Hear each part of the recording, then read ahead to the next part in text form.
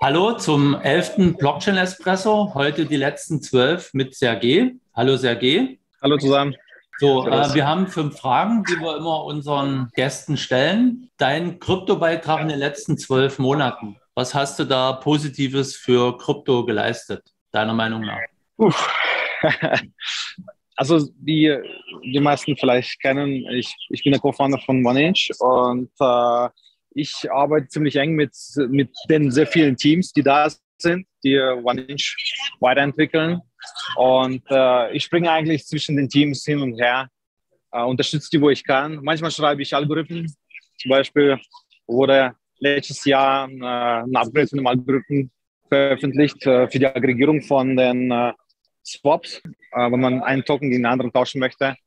Da wurden die ähm, Market Dapps, äh, Market Dapps äh, eingeführt. Das heißt, wenn man zum Beispiel 1000 Ethereum tauscht gegen äh, USDC oder Tether, dass da in, äh, in der Transaktion äh, zum Beispiel gegen Bitcoin geswappt wird, getauscht wird, gegen andere Markets. Und im Endeffekt kommt man dann zum Schluss zu einem Endtoken, zum Beispiel USDC oder Tether.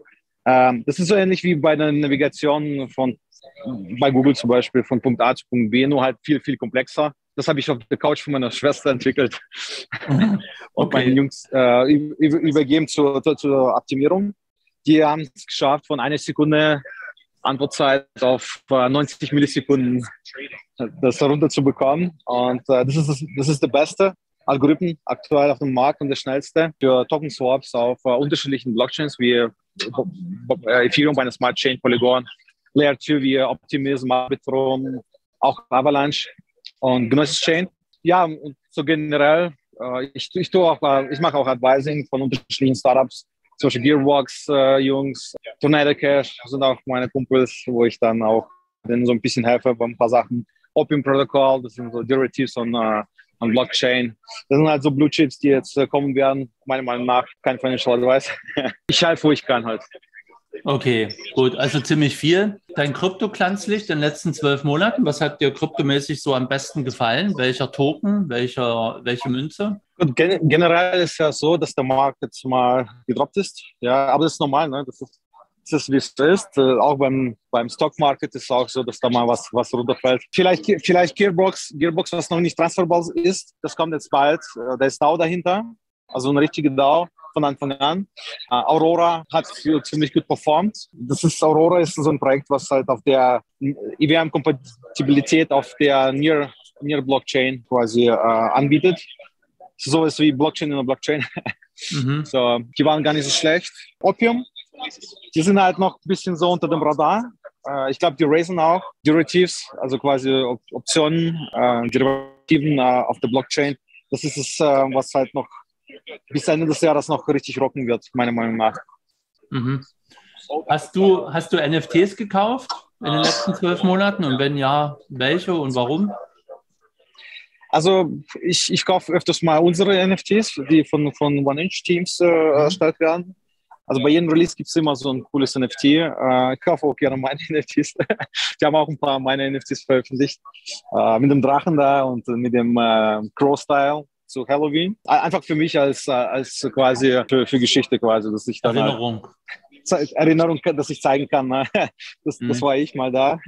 Ich kaufe normalerweise so gut wie keine NFTs. Letzt, was, was ich letztes Mal gekauft habe, war Tecmo Muffins. Ich weiß nicht, ob, ob, ob du davon gehört hast. Nee. Da gibt es so eine Zeichentrickfolge, die wird auch bald starten. One Inch Foundation hat da auch äh, einen Grant gegeben den Jungs. Soweit ich weiß, die bauen so eine Serie, die halt was mit Krypto hat und äh, ist auch funny und so. Und äh, da habe ich dann die ganzen, äh, die Figuren habe ich da gekauft und ich bekomme ab und zu mal Offers, irgendwie für 90.000 das Ding zu verkaufen, aber das mache ich jetzt nicht. Mhm. auch, auch aus, aus steuer, steuerrechtlichen Gründen. Da muss man in Deutschland ein Jahr lang halten und dann. Und dann Solange du noch in Deutschland steuerpflichtig bist, Sergej. Ich habe dir ja angeboten. Du kannst ja wechseln. Ja, das, das bin ich. Ich habe ich hab zwar eine Residenz in Dubai inzwischen, aber trotzdem bin ich noch in Deutschland. Ja, aber es, es, gibt, es gibt ja gute Wege. Ne? Also man, man hält einfach ein Jahr lang und äh, dann ist man mhm. halt steuerfrei, ja. Was Krypto angeht. Und äh, ich finde das gut zu, im Vergleich zu USA oder UK, das ist ein anders etwas. Da hat man halt Vorteile, noch Vorteile in Deutschland, ja, bis die das irgendwann mal ändern. Ja, da haben wir ja auch ein, ein gutes Interview mit dem Professor Falco Tappen gemacht, äh, seines Zeichen Steueranwalt. Hast du im Kryptobereich im letzten Jahr, also in den letzten zwölf Monaten vielmehr, eher Gewinne oder eher Verluste gemacht? Ich habe ich hab mega Verlust gemacht äh, bei einem Token. Ich kann es jetzt äh, nicht, nicht nennen, was für eins ist. Ich habe ich hab mega viel Verlust gemacht, weil da gab es einen Drop von fast 90 Prozent bei dem.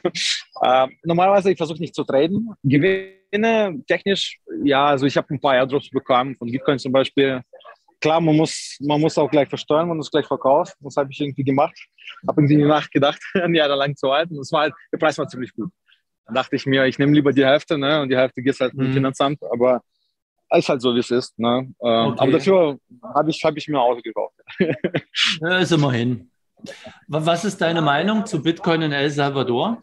Es ist interessant, ja, dass die, dass die in die Richtung gehen. Wenn die dann noch ein bisschen in Richtung DeFi gehen würden, würde, würde es besser sein, meiner Meinung nach. Mal sehen, was passiert. Es wäre cool natürlich, wenn jeder halt irgendwie mit äh, Stepbook-Tokens äh, auf Ethereum Social Blockchain oder auf dem Layer 2 überall zahlen kann. Stell dir mal vor, da kommst du einfach in einen Kaffee, trinkst einen Kaffee. Der Ladenbesitzer, der macht zum Beispiel die Vanish Wallet auf und sagt, okay, jetzt äh, hier kannst du 5 Dollar zahlen, also 5 Dollar für einen Kaffee und du scannst einfach einen QR-Code und sendest über, über dein Vanish Wallet.